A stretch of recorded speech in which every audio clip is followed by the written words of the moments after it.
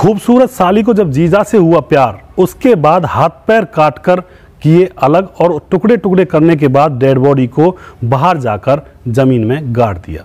दोस्तों, आखिर ऐसा क्या हुआ? इस घटना की पूरी सच्चाई जानने के लिए आप हमारे वीडियो को अंत तक ज़रूर देखिएगा। नमस्कार, मैं हूँ सुदेश कुमार और तिरछी बात परवल चैनल में आपका स्वागत है। दोस्तों, यह घटना है मध्य प्रदेश के खंडाल ज़िले की। मध्य प्रदेश के खंडाल ज़िले में साधना नाम की एक लड़की रहा करती थी, जिसकी उम्र थी चौबीस साल और आज से तीन साल पहले उसकी शादी हो जाती है। लेकिन दोस्तों, उसका पति शराबी होता है और साधना के घर में उसके मम्मी पापा और उसकी छोटी बहन रहा करती है और अब उसको दो साल की लड़की भी है। समय गुजर रहा होता है, उसका पति शराब पी कर आया करता है और उससे झगड़ा किया करता है। दोस्तों, दो साल गुजरने के बाद उसकी छोटी बहन की शादी भी उसी गाँव में हो जाती है, उसके पड़ोस में ही। अब उसकी छोटी बहन भी दुल्हन बनकर उसी के पड़ोस में आ जाती है।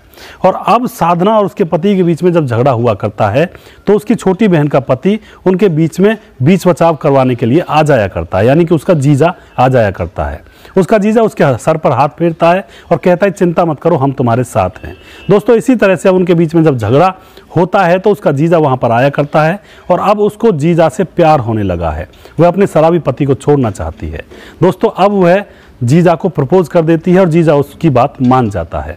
दोनों के बीच में प्रेम संबंध बनने लगते हैं और दोनों अपने प्यार को परवान छुप छुप के चढ़ाने लगते हैं। कुछ समय गुजरने के बाद साधना के पति को पता लग जाता है कि उसकी पत्नी अपने जीजा के साथ संबंधों में है। दोस्तों, वह अब अपनी पत्नी से लड़ाई झगड़ा करने लगता है। बुरी तरह से उनके बीच में कलेश होने लगता है। अब जो साधना होती है, वह अपने प्रेमी जीजा से बात करती है कि इसको रास्ते से हटाना पड़ेगा और इस तरह से इसको मारेंगे कि हमारे ऊपर कोई आरोप नहीं आएगा और फिर उसके बाद मैं तुम्हारे साथ अपनी ज़िंदगी गुजारती रहूँगी मज़े से। दोस्तों, साधना का जीजा मान जाता है और फिर एक दिन शाम को जब रात को शराब पीकर साधना का पति आता है तो वह सो रहा होता है। तभी वह फ़ोन करके अपने प्रेमी जीजा को बुला लेती है। दरवाज़ा खोलती है और जीजा घर के अंदर प्रवेश करता है और जीजा घर के अंदर आकर उसके पति की गर्दन को दबाने लगता है। उसके बाद साधना ब्लेड लेकर आती है, ब्लेड से अपने पति के ऊपर वार करने लगती है और फिर सब्ज़ी काटने के चाकू को लेकर आती है, उससे अपनी पत्नी पति की गर्दन को काट देती है। इतना गुस्सा उसके अंदर भरा हुआ पड़ा था। उसके बाद उसकी डेड बॉडी को एक बैग में भर करके उसको नाले में फेंक दिया जाता है पड़ोस में ही, जो कि पड़ोस में एक नाला होता है। दोस्तों, उसके बाद वह अपने घर आ जाते हैं और समझते हैं कि अब किसी को कुछ भी पता नहीं चलेगा। लेकिन दूसरे दिन वह डेड बॉडी पानी पर तैरती हुई गाँव वालों को नज़र आती है। गाँव वाले पुलिस को बुलाते हैं। उस डेड बॉडी की पहचान की जाती है। तो गाँव वालों पहचान की जाती है तो पुलिस सीधा साधना को उठा लेती है पूछताछ करने के लिए। और साधना ज़्यादा देर तक टिक नहीं पाती है। पुलिस के सामने सारी घटना बयां कर देती है कि मैं अपने जीजा से प्यार करती हूँ और यह शराब पी कर आया करता था, इसको, इसलिए इसको मैंने रास्ते से हटा दिया।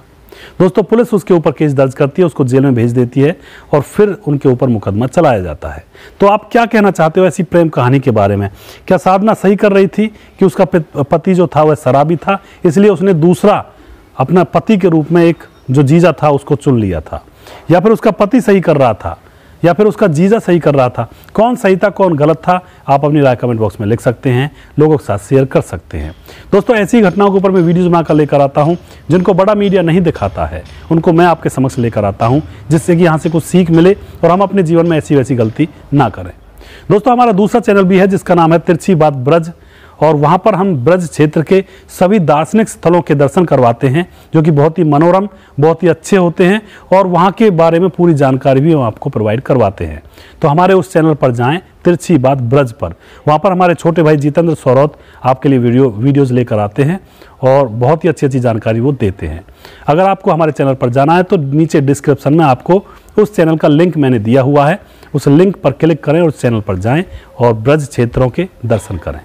दोस्तों नेक्स्ट वीडियो में जल्दी फिर से लेकर आऊँगा किसी सच्ची घटना के ऊपर। तब तक आप खुश रहें, सावधान रहें, रिश्तों की अहमियत को समझें। जय हिंद, जय भारत।